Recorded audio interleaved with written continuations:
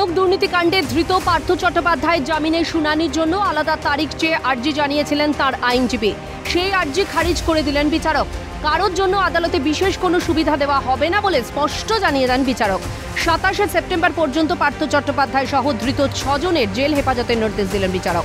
Group C নিয়োগ দুর্নীতি মামলায় শুক্রবার শুনানি ছিল আলিপুরের সিবিআই বিশেষ আদালতে।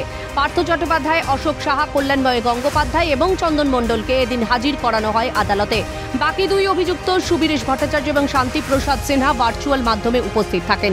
এদিন শান্তিপ্রসাদ সিনহার আইনজীবী সঞ্জয় দাশগুপ্ত আদালতে জানান, এফআইআর হয়েছে বিশে মে দু হাজার বাইশ, তিনশো আটানব্বই দিন ধরে উনি কাস্টাডিতে। সাপ্লিমেন্টারি চার্জশিট ফাইল হয়েছে। প্রথম চার্জশিটে ষোলো জন এবং সাপ্লিমেন্টারি চার্জশিটে ন জনের নাম আছে। মোট পঁচিশ জনের নাম আছে। কিন্তু কতজন আদালতে উপস্থিত আছেন সেটা দেখতে পাচ্ছেন।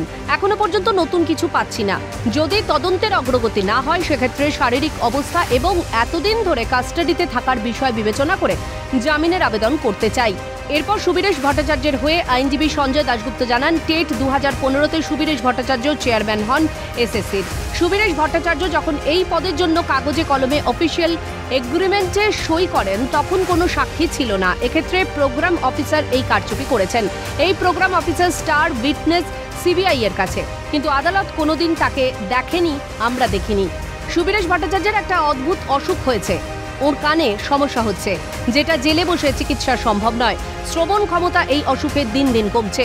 এই দিক বিবেচনা করে অন্তত যে কোনো শর্তে জামিন দেওয়া হোক। আমরা বলেছি যে SP Sinha three hundred ninety eight days কাস্টাডিতে আছে। প্রায় পাঁচশো দিন তদন্ত চলছে। সেই মে মাস থেকে তদন্ত চলছে দু হাজার দুই সাল বাইশ সাল। এখনও এরা বলে যাচ্ছেন একই কথা, যে তদন্ত চলছে আরও দরকার আছে আরও আমাদের এভিডেন্স পাচ্ছি। তাহলে আমরা ওনাকে সেটা প্রথম প্রেশারে যেটা আমরা এসপি সিনহারে বললাম।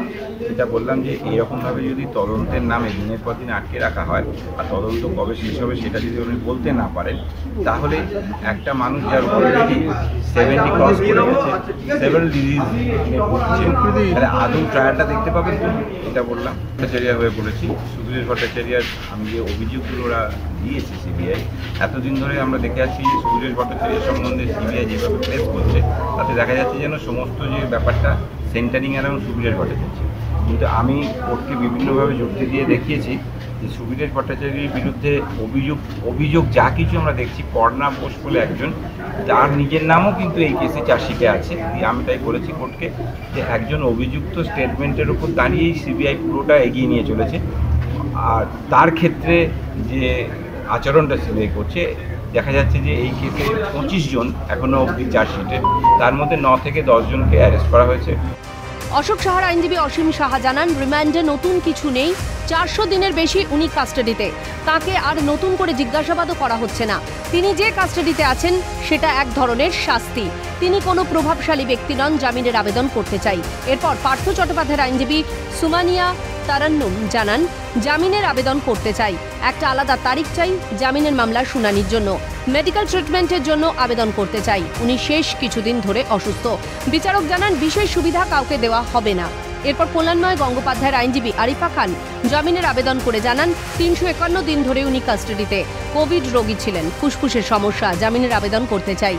যদিও সিবিআই এর আইনজীবী ডিএন পান্ডে জানান, প্রোগ্রাম অফিসার ছাড়াও আরও সাক্ষী রয়েছে। গুরুত্বপূর্ণ তথ্য পাওয়া গিয়েছে। সিডিতে সব রয়েছে। সকলে জামিনের বিরোধিতা করছি। সওয়াল জবাব শেষে পার্থ চট্টোপাধ্যায় সহ ধৃত ছজনের সাতাশে সেপ্টেম্বর পর্যন্ত জেল হেফাজতের নির্দেশ দেন বিচারক। অদ্রিজা ঘোষের রিপোর্ট, ক্যালকাটা নিউজ।